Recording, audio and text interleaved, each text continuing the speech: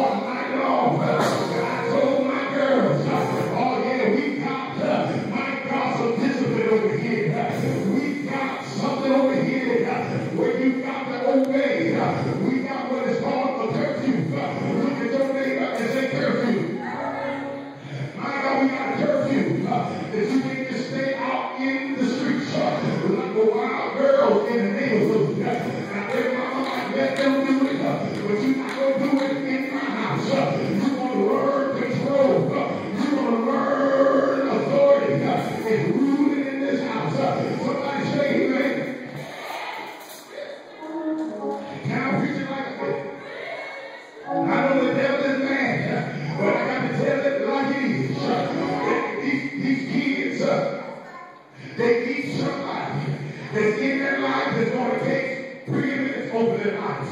That's going to take authority over their lives. uh, because we don't do like baby's mama do. Uh, she might allow her girl, her fast gals, uh, might got to stay outside all night long. Uh, ain't got no curfew. Uh, mama don't care where you are. Uh, mama don't care who you running with. My God, what kind of mama are you? I come against every mama that ain't got no discipline. Every daddy that ain't got no direction.